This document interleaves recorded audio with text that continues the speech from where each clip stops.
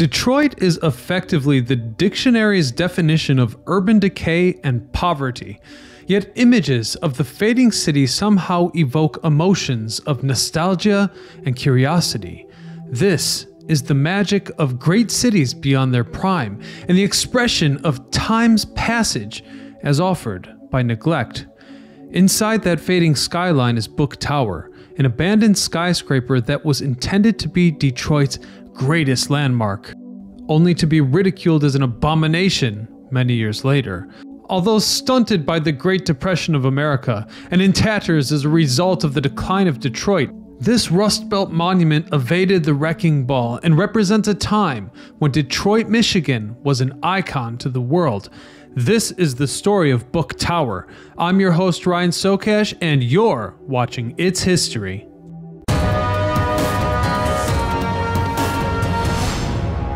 Let's start off at the turn of the century when downtown Detroit was blossoming, rapidly on ascension to becoming a key American center of business and commerce. Entrepreneurs from long and far flocked to the urban center to get their take of the livelihood. Being strategically located near natural resources and other markets via railroad or steamboat, there were few places in America more prosperous. To the west, the Union Pacific, which was founded in 1862, would eventually take freight thousands of miles to every corner of the country. When to the east, you had the Erie Canal, which was completed in 1825 and could guarantee shipment to the east coast, but more importantly, beyond America and away to Europe. Although logistics were far from next day delivery back then, Detroit was as close as you could get. It was a total hotspot.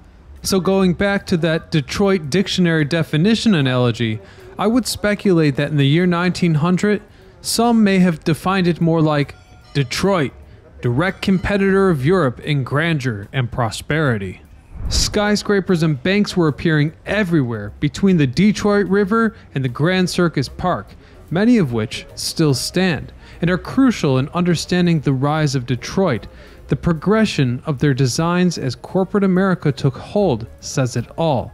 So before we have a look at Detroit's great edifice, Book Tower, let's have a look at how the stage was set. According to historicdetroit.org, the Chamber of Commerce building was built in 1895 this building is Detroit's earliest standing skyscraper, and although it technically stands, it's nearly unrecognizable today after its exterior was mangled. Now it's home to the Archdiocese of Detroit, as well as 56 apartments. The State Savings Bank building opened in the year of 1900 and was projected by the legendary New York firm McKim Mead and White, a company we have learned about in other videos on this channel. Although modest in size, this building represents a dignified Detroit and has survived to modern day despite having a very close call with demolition. You see, in 2012, a developer bought the property with the intention of clearing the plot to build a parking lot.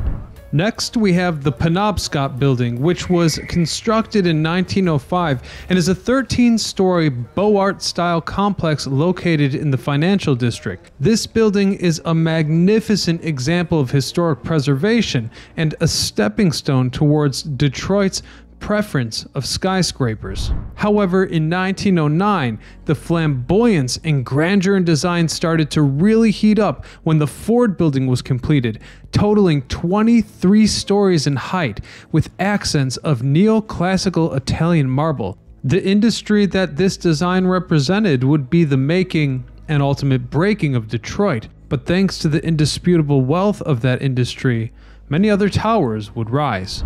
In 1912, the Dime Building appeared on the skyline, which was mammoth in size, a proud neoclassical structure which housed the likes of Chrysler House, Dime Savings Bank, and the Bank of the Commonwealth. This building can actually offer some great context as to why developers choose demolition as opposed to renovation.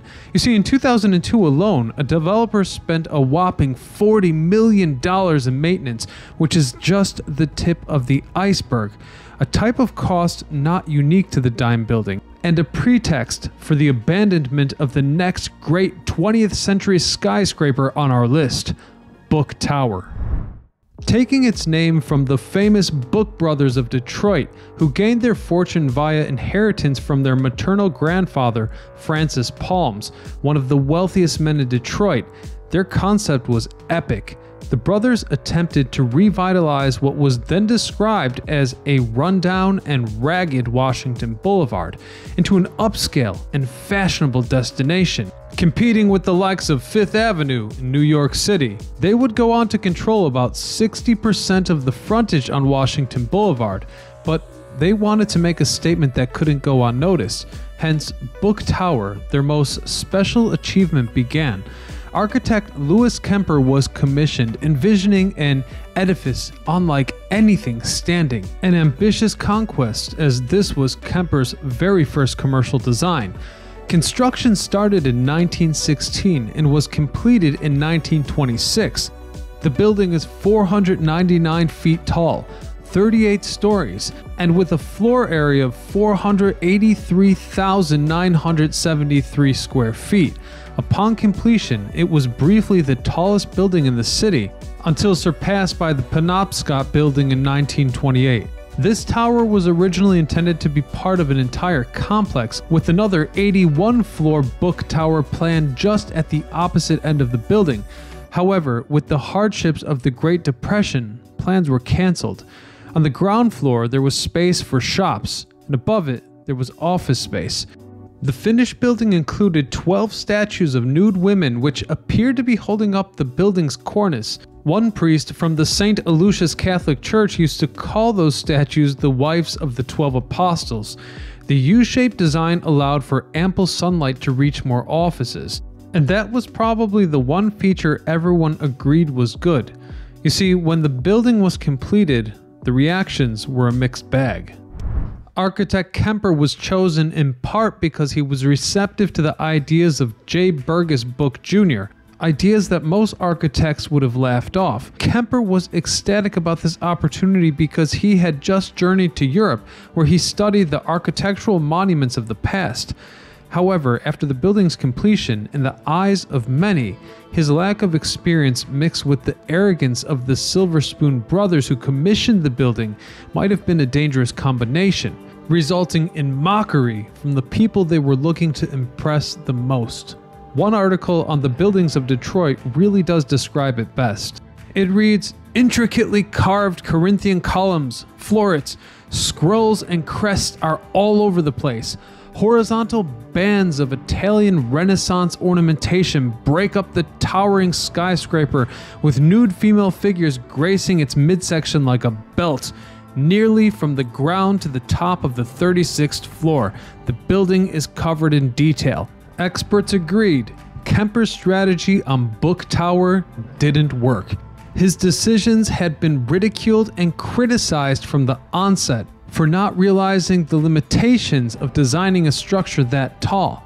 He didn't take a fire evacuation route into consideration when designing, necessitating the addition of the unusual fire escape we can see going all the way down the tower. Kemper chose to use porous limestone that sucked up the pollution in the air, making it impossible to keep clean.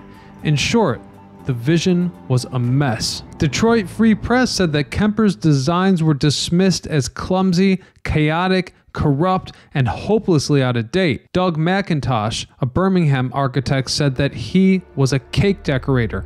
All of his buildings are frothy and decorated to the sort of outrageous level as a cake decorator would. In other words, prominent architects and experts alike considered him to be little more than an impostor, the equivalent of a cheap pop singer who tried to mask their lack of talent with autotune and dancing. Or maybe we should really frame it in a modern lens. Think Donald Trump's Atlantic City. Enough said?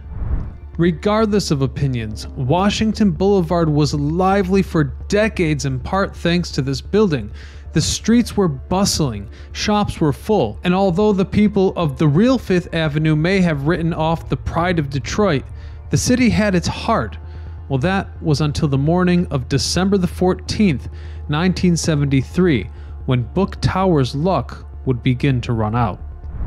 Sarah Watson Lazen, a 30 year old local, ended her life by leaping out a 13th floor window. And in the process, she took the life of Raymond Donald, who was struck below on his way to work. Then, a decade later, it was discovered that the antennas and satellite relays installed on top the building were suspected of exposing those below to dangerous levels of radiation. And although the radiation threat remained inconclusive, the equipment became conclusively dangerous on March the 19th, 1986, when high winds blew a massive antenna off the building. Miraculously, no one was hurt, but this incident loosened several 300 pound decorative pieces on the skyscraper, calling for a brutally expensive restoration. Restoration that no one could afford. The property owners began to default on their financial obligations. By May of 1988, Travelers Insurance, a principal mortgage holder of the property, took the building's owners to court over a $4 million debt, resulting in the forced sale of Book Tower in 1989. Ultimately, the building was acquired by John W. Lambert, a well to do investor who had recently concluded a $10 million renovation on Cadillac Tower. Not unlike the Book Brothers in the 1920s, this developer wanted to bring Washington Boulevard back to its prime. And although the future of the tower started looking up, tragedy struck once again when the new developer took his own life the very same year. Widow Susan Lambert took over the estate and invested millions to upgrade and repair the dying giant. But with a failing occupancy rate, a very creepy reputation of danger and suicide, things were becoming extremely bleak.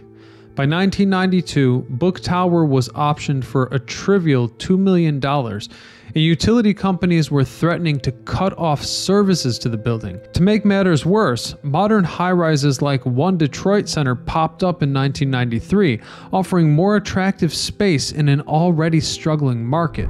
Mrs. Lambert finally threw in the towel on July the 25th, 2006, selling Book Tower to the Pagan Group for an undisclosed sum.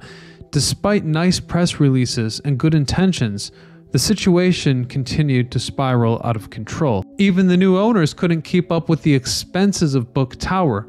By April 2007, unpaid electricity bills resulted in the power being shut off, and many of the few tenants who remained left. And it's no wonder. Imagine having an office at the top of a skyscraper with no electricity to power the elevator. Then in 2007, AKNO Enterprises took over ownership, only to fall behind on their own power bill by $87,000, and then another $20,000 in water bills. Soon, things went dark. Bookie's Tavern, a popular tenant, had its last call in Book Tower on January the 5th, 2009 at 2 a.m., leaving the skyscraper to be abandoned with the windows boarded up, the hope of Detroit lost, and Washington Boulevard on hospice. Finally, I'd like to address the elephant in the room the aesthetic of the building itself. I'd strongly suggest that the architectural elitist who called this building ugly and compared it to cheap cake decorations so publicly show a complete lack of humility and sophistication on their end. Throughout history, art of the common people, or plebeian art, has always enabled real people to make the small illusion of being in a social class that would have always otherwise been out of reach for them. Mocking real people, especially when you have the means for the real thing yourself, is in very poor taste. Furthermore, isn't this an authentic way for an inexperienced American architect to embrace his European inspirations?